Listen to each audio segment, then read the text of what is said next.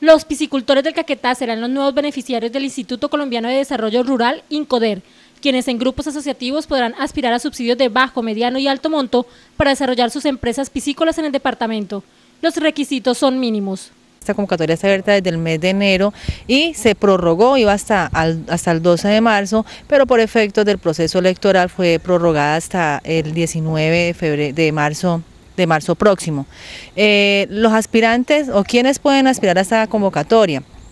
Está destinada específicamente a grupos organizados de pescadores artesanales, de productores acuícolas y piscícolas, a grupos de comunidades indígenas, comunidades afrocolombianas, resguardos indígenas, eh, cooperativas asociadas de trabajo, pero digamos orientadas hacia el trabajo del sector agropecuario, pero finalmente son grupos organizados que mínimo beneficien a ocho familias. La convocatoria estará abierta hasta mediados del mes de marzo y servirá para forjar empresas tecnificadas o artesanales en el área de la piscicultura. Actualmente se adelantan capacitaciones en los municipios del Caquetá, principalmente en Florencia, para que la población conozca el proceso que se debe seguir para aspirar a un subsidio del INCODER.